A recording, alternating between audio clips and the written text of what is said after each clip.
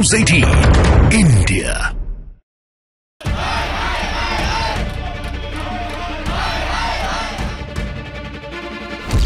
Police প্রশাসন বলে দাদাদের কাছে দাও দাদাদেরকেই তো আমরা ভয় পাই দাদাদেরকে তো ভয় পাই আমরা আমরা কোথায় আমরা এফআইআর করব কত কি অন্যায় করেছি আমরা দেশের কাজ করতে গিয়ে আমরা অপরাধ হচ্ছি দেশের অন্যায়কে প্রতিবাদ আমাদের সব বিক্রি হয়ে গেছে সব বিক্রি হয়ে यहाँ बहुत बुरी हालत है मुझे नहीं लगता कि राष्ट्रपति शासन के बिना कुछ हो पाएगा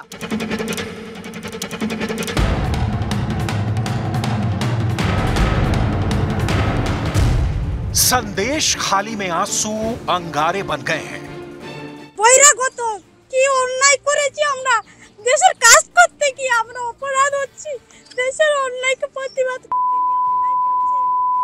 দিদি কি বুঝতে পারছে না দিদি তো আমাদের মায়ের মতো संदेश खाली आंदोलन आक्रोश की हद पार हो गई है কালে মুখ ঢাকবে হানি হওয়াতে সুন্দরবনকের স্থানীয় লোক হিকি তাহলে হানি কালে হানি মুখ ঢাকবে হানি ঘাট তো সন্দেশ খালি তাহলে বহিরাগত হানিকে কাহায় হওয়া शेख शाहजहां की फरारी टीएमसी पर पड़ेगी बहुत भारी।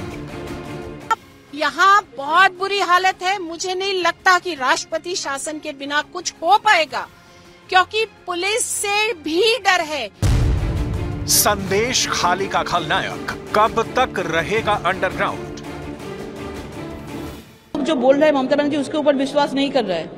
ममता बनर्जी बोले एफआईआर क्यों नहीं हुआ? मम खुद महिला लोग बोल रहे हैं कि हम लोग पुलिस के सामने जाते हैं तो पुलिस बोलते हैं वहाँ से परमिशन लेके आओ जहाँ पे तुम जो लोग उसको रेप किया है। तो आप बोलिए जो लोग रेप किया है वो लोग उसको परमिशन देंगे तो पुलिस के जाके अ, हमारा एफआईआर दर्ज करो। संदेश खाली का सच सुन सिहर उठा है देश।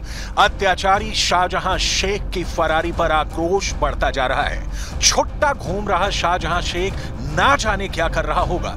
इधर संदेश खाली का कोहराम है, दर्द है, आँसू है और है असीम पीड़ा। इन महिलाओं के ना आँसू थम रहे हैं, ना ही आदत आई को कोसने का सिलसिला रुक रहा है, क्योंकि संदेश खाली की रूह कपाने वाली हकीकत ने पूरे देश में हड़कंप मचा रखा है।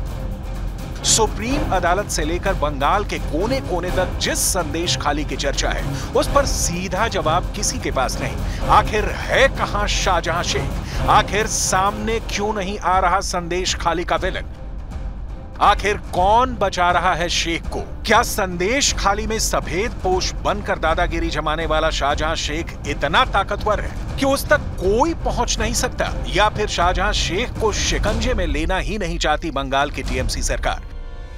ये जितने भी सवाल हैं, उनका जवाब सीधे मुख्यमंत्री ममता बनर्जी से पूछे जा रहे हैं। ममता बनर्जी से संदेश खाली की महिलाएँ बेहद खफा हैं। खफा इस बात पर कि एक तो उन्होंने शाहजहां शेख का टॉर्चर झेला, उस पर महिलाओं को ही बाहरी बताया जा रहा है। सुनिए, ममता बनर्जी के बयान के बाद बिलखते हुए क्या क्या बोल रही है ये दुखियारी महिलाएँ? नहीं है। থাকছি ভয় মৃত্যু নিয়ে কেন? কেন দিদি? আমরা জানি না। আজকের আমরা সারাদিন পরিশ্রম করি। সরকারের কাজে, সেই সরকারের টাকা পর্যন্ত নিয়ে চলে যায়। আমরা কি করে বাচ্চা কাচ্চাকে মানুষ করব? কি করে আমরা খাব? আজকে দিদি দেশে কি উন্নতি করছে আমরা জানি না। দিদি কি উন্নতি করছে? আজকে সারাদিন মাথার ঘাম পায়ে ফেলে সেই টাকা পর্যন্ত ওদেরকে তুলে দিতে হচ্ছে দিদি আজকে দিদি আমাদের কি অবস্থায় রেখেছে দিদি ममता बनर्जी का वो बयान जिसमें उन्होंने ये कहा कि संदेश खाली में बाहर से लोगों को लाया जा रहा है जिन्हें मुंह ढककर बात कराया जा रहा है ये वहां की महिलाओं को नागवार गुजरा महिलाओं ने नाराजगी जताते हुए ये तक कह दिया कि ममता बनर्जी खुद क्यों नहीं आ जाती हैं और आकर ये देख लें कि कौन बाहरी है और कौन वहाँ का रहने वाला। टीएमसी सरकार पर संदेश खाली की घनघोर अनदेखी के आरोप एक सुर से लग रहे हैं। संदेश खाली में महिलाएँ जान का जोखिम उठाकर इस गुस्से का इजहार कर रही हैं। क्योंकि शाहजहां शेख अब तक फरार है, उसकी किसी को कोई खबर नहीं। वो कब क्या करवा दे, किसी को नहीं पता। शाहजहां के अत्याचारों को याद कर सिहर जाती हैं संदेश खाली की तमाम महिलाएँ।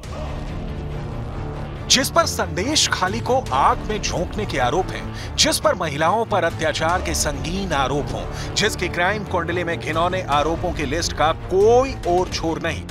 उसके खिलाफ हल्ला बोलने के लिए अब शुभेंदु अधिकारी को भी इजाज़त मिल गई है।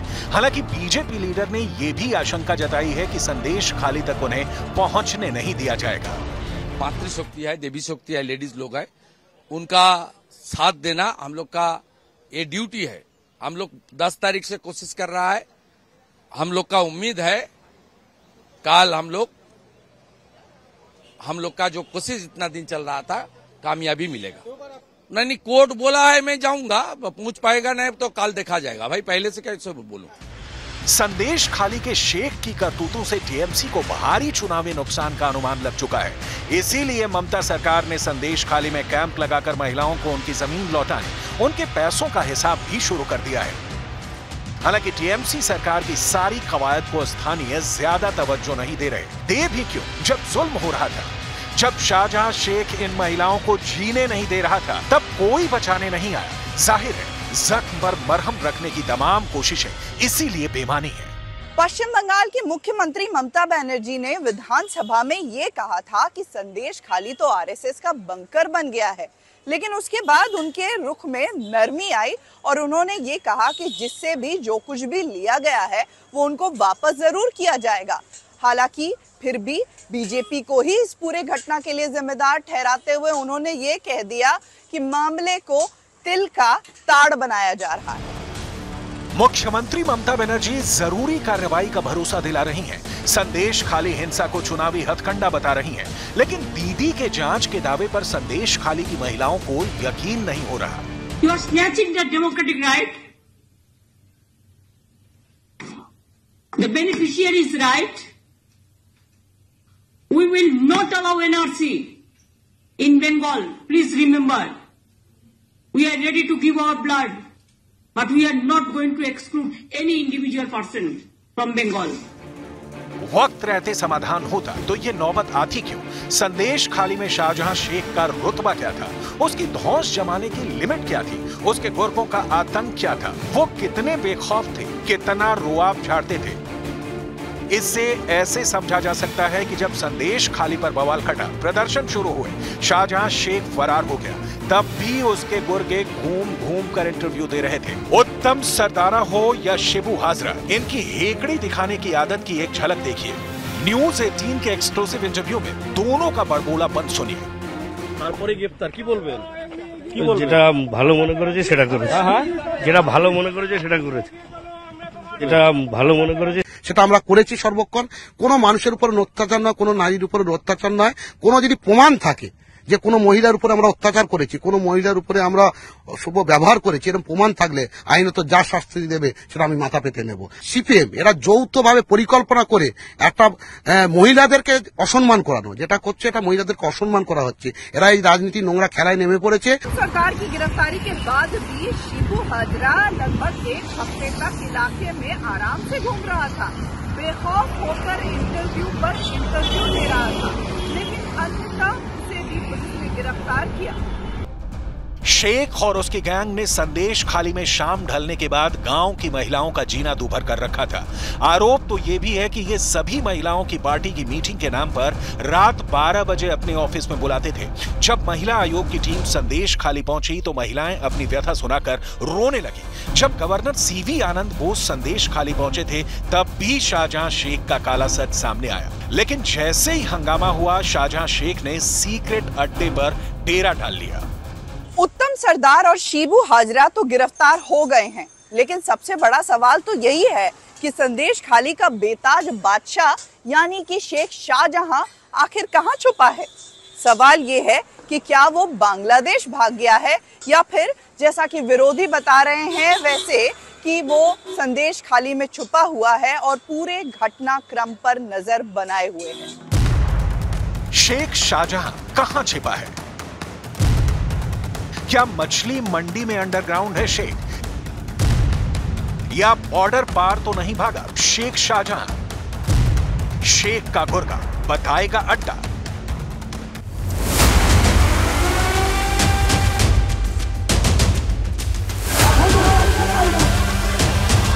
शाहजहां शेख के क्राइम पार्टनर उत्तम सरदार और शिबू हाजरा पुलिस को उसके सीक्रेट अड्डे तक पहुँचा सकते हैं। क्योंकि इन दोनों को सब कुछ पता है, लेकिन पुलिस तफ्तीश सही से करे तब। शाहजहां शेख को पकड़ना इतना आसान नहीं, क्योंकि उसका अतीत ऐसे ना जाने कितने क्राइम चैप्टर से पटा पड़ा है। बयालीस साल का शाहजहां शेख उत्तर 24 परगना में भाई के नाम से कुख्यात है। उसके इशारे पर ही राशन घोटाले की जाँच करने पहुँची ईडी और सीआरपीएफ टीम पर हमले किए गए। कभी मच्छी मारने वाला शेख 2004 में ईट भट्टा यूनियन में पैर जमा लेता है। जिसमें उसकी मदद रिश्ते में मामू लगने वाले सीपीआईएम के ग्राम पंचायत प्रमुख मामू मुस्लिम शेख करते हैं। मामू के दम पर शाहजहां शेख भी जल्द सीपीआईएम के मजदूर यूनियन का लीडर बना दिया जाता है। 2011 में शेख शाहजहां ने सीपीआईएम छोड़ टीएमसी का दामन थाम लिया। शाहजहां शेख को अपनी शान में गाने गवाने का भी शौक था। किसी बादशाह की तरह कुर्सी पर बैठकर ये शाहजहां शेख कैसे ढोलक की थाप पर गीतों के मजे लेता था उसकी झलक भी देखिए ওগো আমার সাজান ভাই আমার বুকের মাঝে চাই ওগো আমার সাজান ভাই তোমার বুকের মাঝে চাই